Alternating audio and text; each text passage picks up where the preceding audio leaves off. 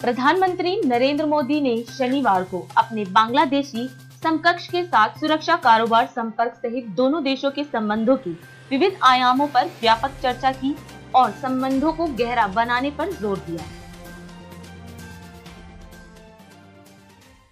दक्षिण कश्मीर के अनंतनाग ज़िले में उपायुक्त कार्यालय के बाहर शनिवार को आतंकवादियों के ग्रेनाइट हमले में ट्रैफ़िक पुलिस के एक कर्मी और एक स्थानीय पत्रकार सहित चौदह लोग घायल हो गए।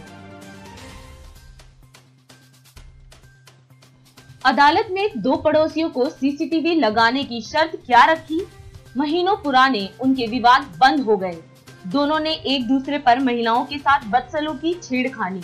जैसे धाराओं में प्राथमिकी दर्ज करा रखी थी और आए दिन पुलिस को शिकायत करते थे। महिला एवं बाल विकास मंत्री का पदभार संभालने के चार महीने बाद स्मृति ईरानी ने महिलाओं के खिलाफ हिंसा की समस्या से निपटने के लिए वन स्टॉप सेंटर की स्थापना पर विशेष ज़ोर दिया है।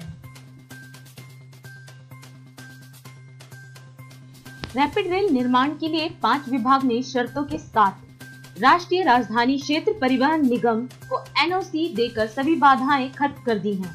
अब निर्माण कार्य में तेज़ी आएगी दिल्ली सरकार ने शनिवार को लोक निर्माण विभाग के अंतर्गत आने वाली 1260 किलोमीटर लंबी सड़कों को गड्ढा मुक्त करने के लिए एक बड़ा अभियान शुरू किया है मुख्यमंत्री अरविंद केजरीवाल ने ट्वीट कर कहा, यह पहली बार है जब लोक निर्माण विभाग द्वारा इतने बड़े पैमाने पर गड्ढा मुक्त करने के लिए सड़कों का निरीक्षण किया जा रहा है।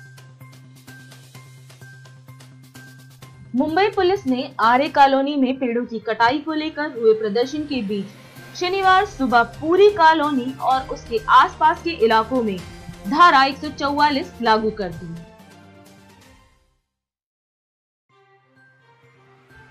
जिला शुल्क नियामक कमेटी की शुक्रवार को हुई बैठक में नोएडा के चार निजी स्कूलों पर लाखों रुपए का जुर्माना लगाया गया है। स्कूलों की मनमानी पर अभिभावकों की ओर से की गई शिकायत पर यह कार्रवाई हुई है।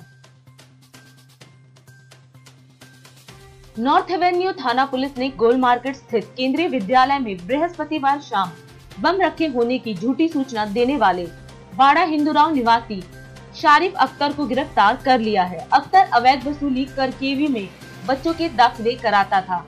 इस बार उसका एक भी दाखिला नहीं हुआ था। इससे वह चिढ़ा हुआ था। वह इस मामले में पड़ोस में रहने वाले साजिद खान को फंसाकर बदला लेना चाहता था।